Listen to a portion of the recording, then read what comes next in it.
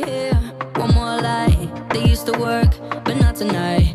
That's the last time you